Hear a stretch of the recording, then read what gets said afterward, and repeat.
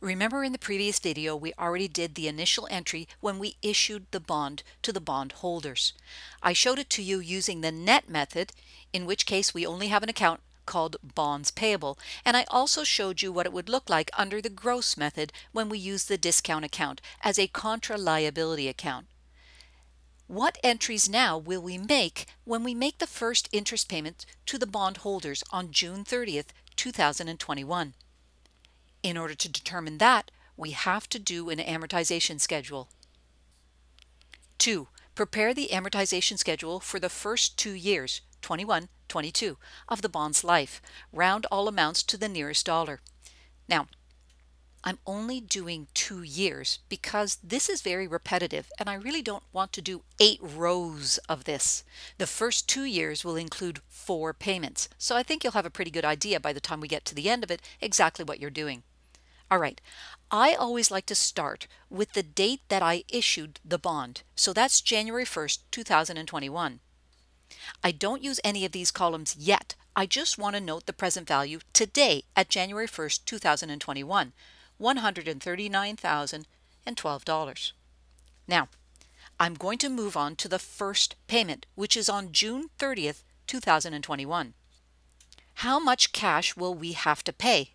Well, the cash is always calculated as the face amount multiplied times the coupon rate divided by the number of interest payments per year. Let's just do this calculation down below. Face amount multiplied times the interest rate on the bond divided by the number of payments per year is equal to $1,500. That's how much cash we'll have to pay our bondholders on June 30th, 2021. Let's put it in the chart. Now, for the interest expense, we're going to take the current present value and we're going to multiply it times the market rate divided by the number of interest payments per year. Let's page down and see that calculation. Remember, we need the present value, $139,012 multiplied times the market rate divided by the number of payments per year. This is going to be equal to, and we're rounding this to the nearest dollar, $2,780. That's the interest expense. Let's move up, put it in the chart. Again, I'm rounding it to the nearest dollar. What is the difference? Now, sometimes students are like, oh, I'm going to take the interest expense and deduct the cash, or I'm going to take the cash and deduct the interest expense. It makes absolutely no difference which one you choose, but I always like the difference to be a positive number. So I'm going to just take the bigger number and subtract the smaller number.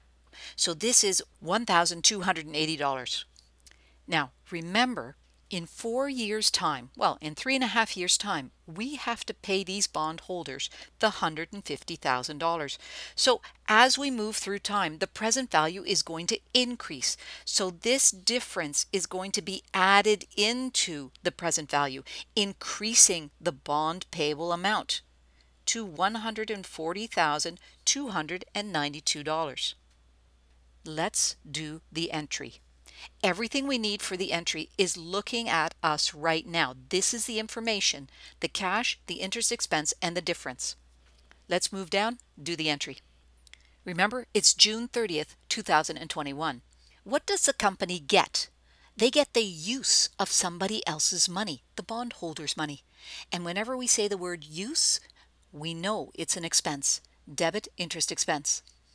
The interest expense is the column that says interest expense, $2,780. What do we give away? Well, we give away cold hard cash because we're going to pay the bond holders $1,500. Where does the difference go?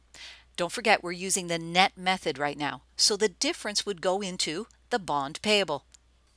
It makes sense that we're crediting the bond payable because we know that the bond payable has to go up to $150,000 because that's what we're going to pay the bond holders in three and a half years time.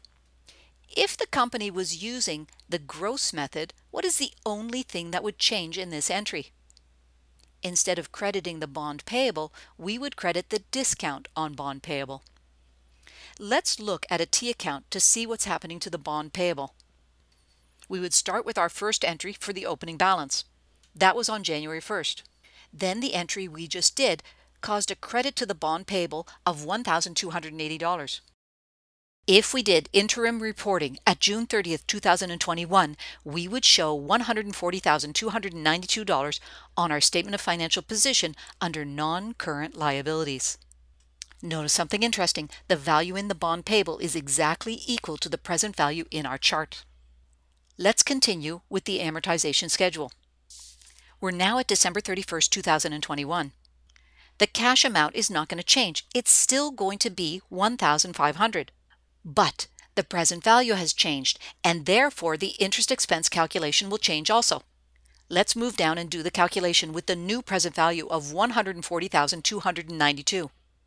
Remember, multiply times the market rate divided by the number of interest payments per year.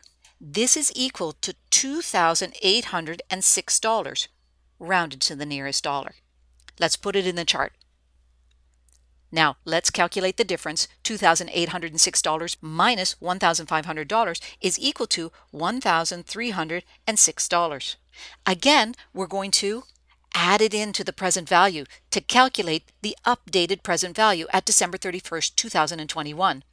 $141,598. Let's do the entry. December 31st, 2021 we're going to do the exact same entry, but all that's going to happen is two of the amounts will change. We're still going to ask ourselves, what did we get? We got the use of somebody else's money, and that's interest expense, $2,806. What did we give away? We gave away cash, and we gave away the same amount we did before. Where does the difference go? It increases the value of the bond payable because eventually we have to be at $150,000 face value. That's $1,306. Let's look at the T account for the bond payable. Let's flow through the entry we just did. We're going to credit bonds payable for $1,306. What would be the total?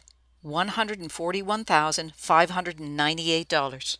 Exactly what we have on our chart. This is the amount that we would report under non-current liabilities on the statement of financial position at December 31st, 2021. Under the net method, of course. I'm going to continue with this question in the next video.